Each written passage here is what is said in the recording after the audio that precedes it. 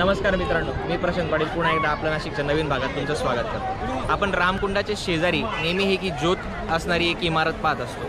तर ही नेमकी इमारत आहे तरी काय आणि ती नेमकी कशासाठी म्हणून बांधण्यात आली? तेच आज आपण जाणून घेणार चला तर. रामकुंडाच्या शेजारी आपल्याला एक संगमरवरी ज्योतीच्या आकाराचा स्तंभ दिसतो. त्या स्तंभाचे नाव म्हणजे गांधीज्योत स्तंभ. रामकुंडावर असणाऱ्या अस्थिविलय तीर्थात आजवर पंडित नेहरू इंदिरा गांधी यशवंतराव चव्हाण लता मंगेशकर बाळासाहेब ठाकरे यांसारख्या अनेक मान्यवरांच्या अस्थी विसर्जित करण्यात आल्या त्यातच महात्मा गांधींच्या देखील अस्थींचे विसर्जन एकोणीसशे अठ्ठेचाळीस साली करण्यात आले होते.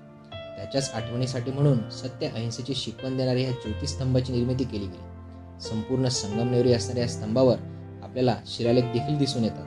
पण येथे जाणाऱ्या जिन्यावरील गेटला कुलूप असल्याने आपल्याला ते पाहता आले नाही रामकुंडाच्या शेजारीच विश्रामशाळेवर याची निर्मिती एकोणीसशे अठ्ठेचाळीस नंतर करण्यात आली. या ज्योतीच्या मागील बाजूस नंतर नाशिकचे सुप्रसिद्ध आर्किटेक्ट असणारे संजय पाटील यांनी निर्मिलेली छत्री सुद्धा आपल्याला दिसून येते.